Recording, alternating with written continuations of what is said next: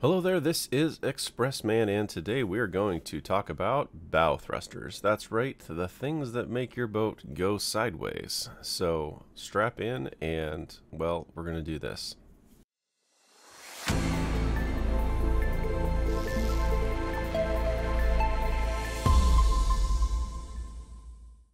Uh, how did I delete a random brick from right there? All right. Bow thrusters. So there's a couple different ways to do it, and I want to show you them. First of all, um, let me show you the way I'm not going to do it, but it is informative. Uh, is that... What is in there? Do I have a fuel tank or something? Oh, that's the floor. Okay, no problem.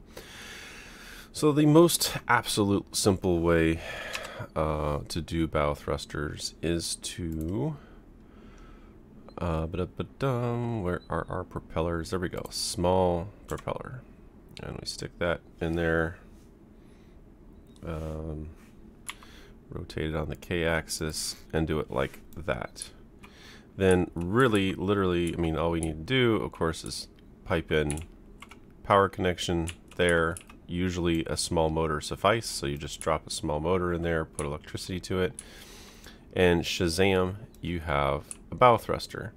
You can do one on each side. Uh, I've even been in situations where I'll do two or even triples um, next to each other. And, and, I really thought about doing that on this boat.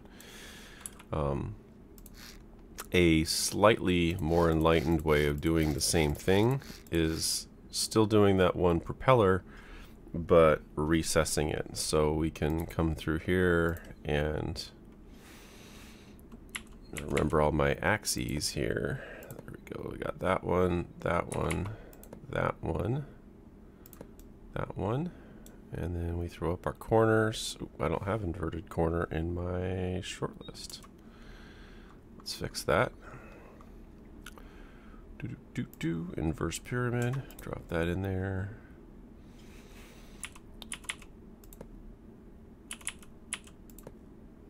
And then we make this nice sort of recessed pocket. I don't know if it makes a performance difference. I'm guessing it's actually worse, not better. But it certainly looks better, has more fit and finish to it. Okay, let's do this. There you go. Now you can see it's not actually flush, but it doesn't stick out as much. Um, so that that's how you do like the most simple. This would be a little weak. If, if I had a boat where I just needed the ability to move sideways, that would be adequate. Like if it was not a big deal.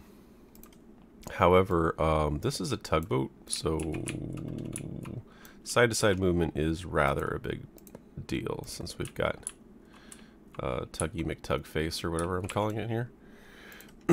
so let's paint this back, and then I'm going to show you what I'm actually going to do bow thruster land. Now, because this is a tugboat, I'm actually planning on having a 360 spinning propeller or two in the back. Um, also, I went ahead and added these big old magnets in the front. But anyway, that's a different story. Now, the problem is here we've got just a nice, you know, sloping hull, which is great. However, we've got to make a hole in the hull. So this is a little painful, but actually before I do that, let's turn on symmetry.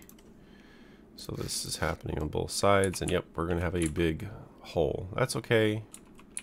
The bow thruster is rather important to what we're doing here. Um, now, I only need a 3x3, and we got a 4x4 out of the deal. Um, let me do some quick big brain. Oh, really? Music? Let's see here. Graphics, controls, audio, Music. Goodbye, music. Alright, there we go. So, let's see here. I generally want it as low as possible, so uh, I'm going to go ahead and make my top here. Um, not sure about the internal diameter yet, but I think I'm going to have to do this. So of course I got symmetry on, so it's making it a little bit easier. There we go. So we're making basically a, the goal here is a 3 by 3 tunnel. That's the end goal. Um, that's 3 by 3 internal, so it's going to be, you know, effectively a 5 by 5 like that. Excuse me, we'll clean it up. But the important part is to get the propulsion part in here, and then we'll then we'll clean it up. So for that, we need. I should have painted this thing ahead of time. Um, I went right past it, didn't I? The azimuth thruster. Now you could do different things. You could try to mount a large, not a large, what is it called? The medium? I don't even see the medium. What's going on with that? Anyway, I prefer, in this application, the azimuth propeller. Um, very often in a boat, I will mount only one, even when I'm using this propeller. However, uh, because we are talking about a tugboat, I want it to be kind of crazy strong. Oh, let's get it in there. Back one more, you'll see why in a minute. Yeah, so I'm actually going to do two. That's that's not my normal thing, but I think it's the way to go here. Uh, meanwhile, I'm going to regret not just doing these blocks in white. So let me hit this before I make it even more complicated with hit it with color before I make it more complicated. And then um and we do want it to look good or at least as good as possible. It's not going to be amazing because, you know, we're knocking off some fancy geometry to do this and it is what it is. Okay, so um, as you can see, in theory, that hole is, it's bigger than it needs to be. I could do this to the whole thing, or I could just do this to the ends for looks. I'm going to do this to the ends for looks. So notice, you know, because of collision, I can't go in further, but I can go to there. And I should be able to, hopefully, maybe, do it on this side. Yeah. But it's going to look bad there. We'll get that. We'll talk about that in a second. That there. And that there. And we'll go ahead and splash a little more paint around for dealing with our issues. Okay, so that's basically the important part. I mean, we'll need to come in here, and that's a couple blocks down. We need to come in here and ooh, find, let's see, it's going to be here. There it is. Uh, that's the, the power drive. We'll just put it straight through. We can change it later, but at least now we know where it is. So cool. and you can put any kind of power to this. I typically put electric, uh, in this case the larger, uh, what are they call the mediums, electric motors on here. I can still decide later what I want to do, but um, because I thought I selected it. Hello. Oh, okay. Um, those that might actually one would probably do both of them, so I might just do one in the middle, except that they need to be counter rotating. So I mean, need a reversing gearbox or something. So um, because you don't typically run them for very long, that's and and then you know hooking up to an engine with a clutch and a gearbox is rather complicated. It'd be worth it if you expected to be doing large amounts of sideways motoring, but do we really? Now, as far as cleaning up the hull, this is there's this there's no way this is gonna be great, and that makes me sad, but it is the reality of what we are living with here. So, hmm. I could try, let's just try something here. Back to our angles, let's do one by four. Now the problem is the one by four would clean up one of these pretty well, but not both. And that makes me a little sad. We could do a two by four. and we'd be basically in the same predicament. I do feel better about that. We can't do a 4x4, I don't think. No, we just can't. Um, I think, yeah, this is this is just going to be messy no matter what. We could do one by two inverse here, which is this one.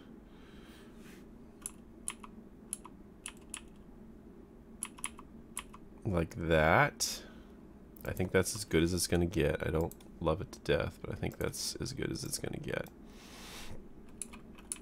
Uh, granted, this piece right here could potentially go if that made things less weird. Does it though? I mean, I could put one of these here, just a one by one inverse, paint it up. Then we don't have that bottom lip thing going on. That does look kind of more intentional. It, it's rough. Certain ship designs, particularly bigger ships, you can definitely like do the. Uh, you can get a. It's it's a little less mm, intense to do this. Um, yeah, anything I put here is going to be lower than that. I don't know how I feel about that. I also really don't like the idea of doing nothing. So, you know, how bad would it be? Oh, let's not do that. Yeah. I was in. Th this is probably a bad idea, but we're experimenting, right? To do that. I don't know. I actually don't know what the physics are on blocking. Uh,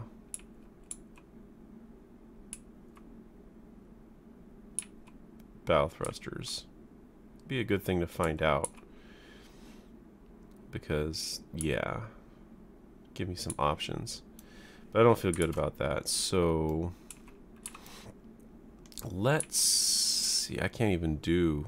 I can't even do one of these here without it doing that weirdness, so... That's not great. Um... There's really no other option, so, hmm... I mean, literally it just leaves me either doing one of these, which I don't think is going to work. I mean, I could do it to his neighbor if we thought it was less weird. Ooh. Um, sorry if I'm giving you motion sickness.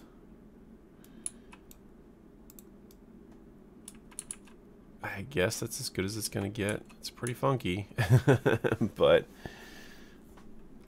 I'm not working it out in my head how we could do better than this.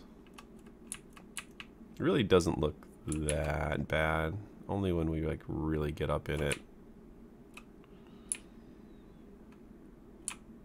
Does doesn't make me cringe. But there we go. And then yeah, so I think the right way to do this is uh, I'm going to turn off symmetry and um, I'm gonna delete those. And then we're gonna I need an uh, enclosed elbow. Again the trick with finding these is find the two version that you want. There's the angle and it'll be the next one on the list which in the case of pipe angle is on the next row which is a little weird. Um, okay so let's do Okay, I guess I could have kept symmetry on for this, but whatever. Then we'll grab straight. Um, I'm going to leave a gap uh, on that side. And then we'll do a T, which is this one. And then we'll do a gearbox. And it doesn't really matter which way it's facing. I don't think, because before I forget, let's do ratio on, there we go, and it just flips it. So now, when we grab our, you know what, let's be real, it's probably going to be like medium gray.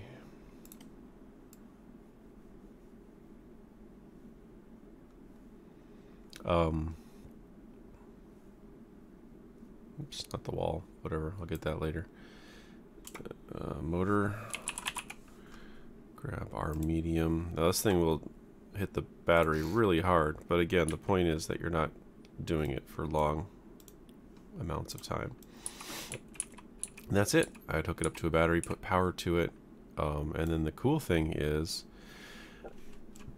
um, with the gearbox, um,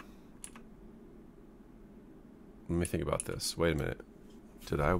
Yep, yep. I got it's right. With the gearbox, um, they'll both be actually pushing in the same direction.